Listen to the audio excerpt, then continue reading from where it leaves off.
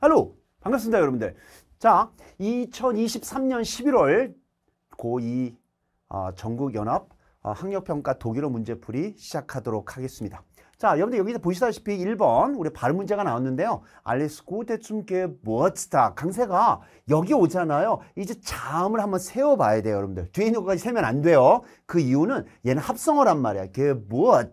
자 그러면 기본적으로 어 우리들이 일반적인 문법을 아시는 분들은 자 강세가 나오고 자음이 두 개 이상이면 우리가 단음이라고 했는데 이걸 역설적으로 이제 출제위원들이 어, 내는 거겠죠. 1번부터가 좀 까다로운데 자 이제 보시면 여러분들 자 이게 다 자음이 두 개씩이란 말이야.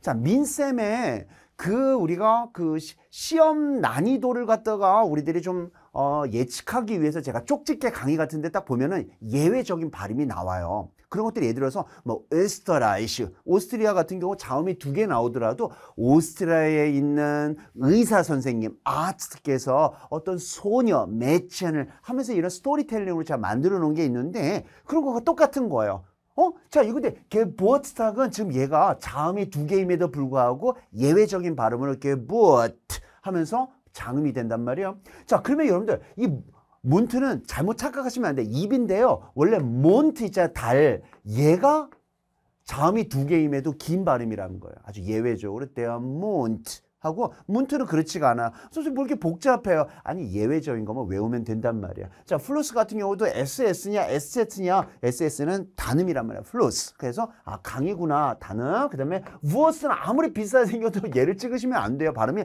우어 우어 그 발음이 아니라 얘는 원래부터가 짧은 발음이야. Wurst die Wurst 하면 소시지잖아요. 그 다음에 besuchen인데 얘 원래 책이라고 하는 부흐 zuchen 찾고 다니다 얘네들이 체하라는 자음이 두 개임에도 긴 발음이다. 그래서 정답은 4번이었는데 많은 분들이 3번 찍었을까 저는 알죠. wurst 그 다음에 그 뭐야 우어 우어 음 그렇지 않아요. 얘는 예외적으로 장음 얘도 장음이다라는 거. wurst는 똑같이 단음입니다. 그렇게 알아두셔야 된다는 거. 자 그 다음에 2번 문제 이젠 강세 위치예요. 강세 위치 별것도 아니에요, 여러분들. 강세 위치는요. 강세는 모음에 온단 말이야. 누구 자음에 온다라고 그래. 자, 이렇게 요렇게 모음을 갖다 한번 세어 보세요. 하나, 둘, 세 개 다 무세움 하는데 무세움, 오! 무세움, 무세움. 이렇게 세라는 얘기야. 그러면은 출제 위원들은 여기서 모음을 갖다 세 개씩 넣어 놨지 네 개는 안 된단 말이죠. 자, 때 we come here museum. 박물관은 어떻게 오지라는 게 가다. 목적지로 가는 거예요. 박물관 어떻게 가지? 자, 그랬더니 명령법 썼네요. Die zweite Straße. 두 번째 길에서 오른쪽으로 가시면 어, 걸어가는 거네요. 가시면은 거기 박물관이 있다는 거겠죠. 자, 내용은 그렇다 치더라도 제가 말씀드린 거 하나만 골라볼게요. 자, 봐. Supermarkt. 몸세 개란 말이야. 근데 강사가 Supermarkt, Fahrkarte. 일반적인 합성어. Fahrkarte. 차표죠. 그 다음에 Donnerstag. 우리 목요일. 이따가 또 나옵니다. Donnerstag이. 자, 그 다음에 기타. 몸에 하나, 둘, 셋. 어, 정답 2번. 그게 나오는 거야. 근데 1번 같은 경우는 얘는 구텐 앞에 tit. 강세가 맨 뒤에 있단 말이야. 이거랑 이거랑 어, 비슷하네.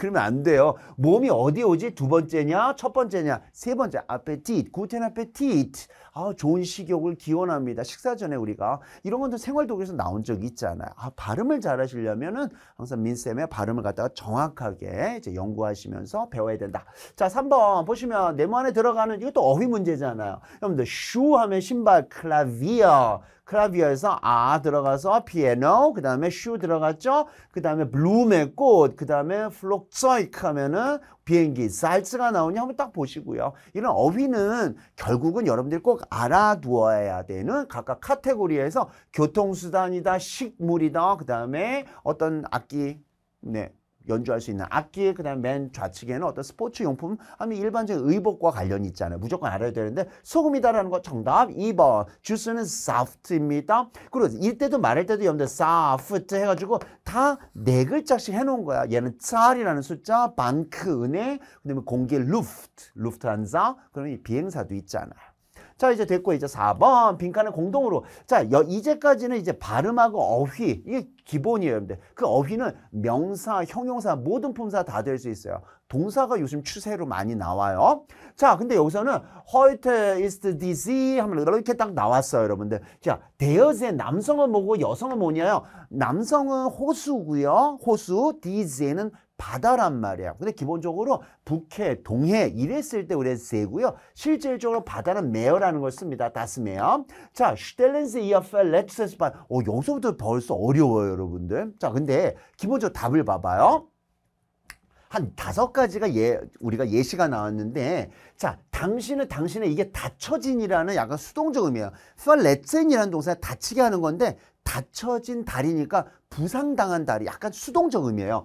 부상당한 다리를 어떻게 세워두세요라는 얘기예요. 자, 그 다음에 내 새로, 요거 어미 변화 잘하세요. 우리가 소유관사니까 부정관사 어미 변화에서 내 새로운 이웃들이 아마 이웃 부부로 보시면 돼요. 이웃 부부가 아주 친절하고 모모하다라는 거예요.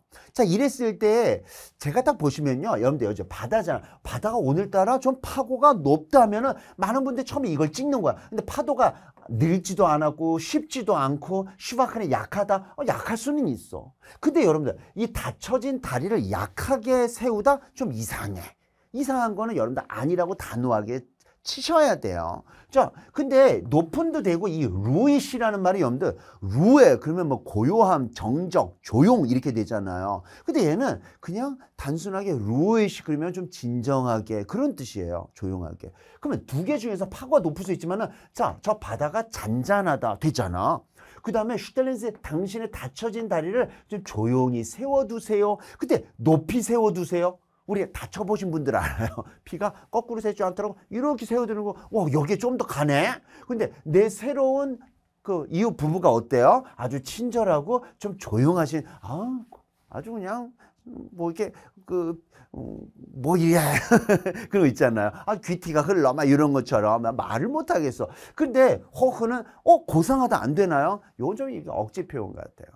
그러니까 사람의 어떤 그러한, 어, 어, 특성이란지 말할 때도 어, 에이스 아니 루이거 맨시 아, 조용조용한 사람이다 온순하다 이거 되는 거잖아요. 뭐 요거는 좀 안 된단 말이에요. 물가가 높던지 저 산이 높을 때 이렇게 쓸 수 있는 표현이니까 정답은 3번 된다고 보셔야 돼요.